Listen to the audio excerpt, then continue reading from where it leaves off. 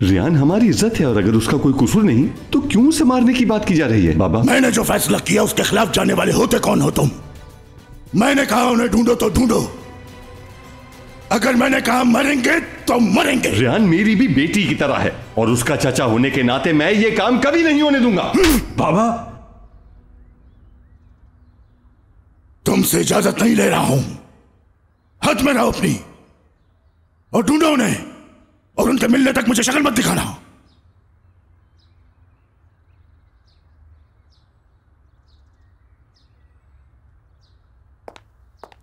जान? जाने दो उसे।